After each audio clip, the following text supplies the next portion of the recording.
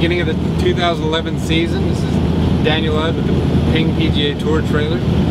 Uh, today is January 15th. Started this morning off about 8.15 in the morning. Uh, grabbed a little breakfast, did my routine on the truck, and started heading out on I-10. Throughout the day we've been, uh, been pretty lucky with traffic. Uh, normally we have to pull into way stations every 50 or so, 100 miles.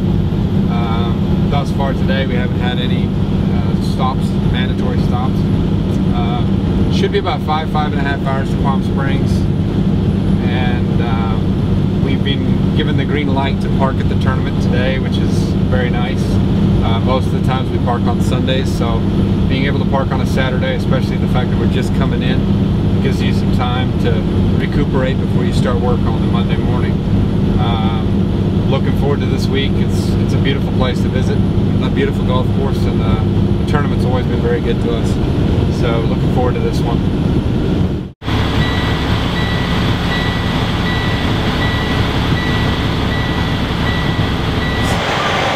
Every 540 miles, gotta stop in for some gas, so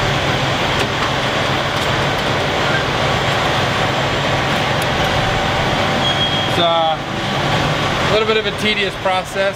Uh, you have to know your mileage, truck number, uh, trip ID number before you get out of the vehicle. Obviously know the pump. Uh, because of the, the tanks are ballast on both sides, you have to start the front side, driver's side first, and then go over to the passenger side. As you can see, pumping gas and cleaning the windshield uh, I would say the windshield takes longer. Um, driving through the southeast especially, I have to probably clean my windshield every truck stop.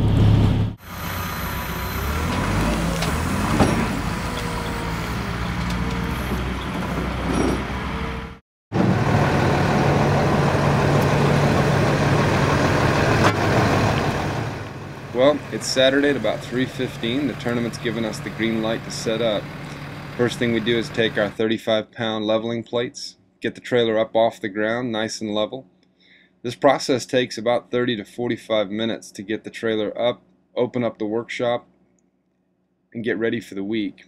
As you can see, the pop-outs are coming out. That gives me about 32 inches on either side of the trailer. Satellite dish is an auto tracker. Get it onto our favorite sports channel, and we're set for the week.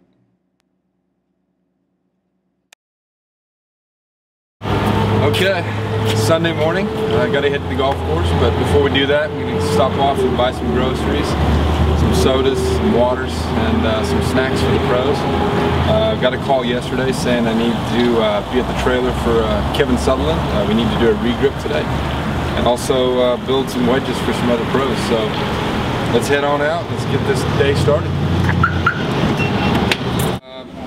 We're down the snack aisle. I picked up my waters, my energy drinks, and my sodas. Uh, now it's basically time to pick out some multi-grain uh, chips, some energy bars, um, granola bars obviously. Uh, that would be something that players need for energy. Uh, pick up some fresh fruit and head back to the golf course.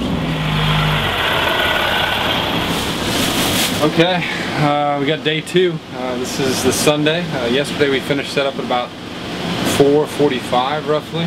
Uh, as you can see panning around it's kind of a bit of a mess right now but once I get all the inventory put away um, do some cleaning and then Kevin Sutherland's going to be here in about 10 minutes and we're going to do some regripping um, and a couple other pros are going to be making their way by. So.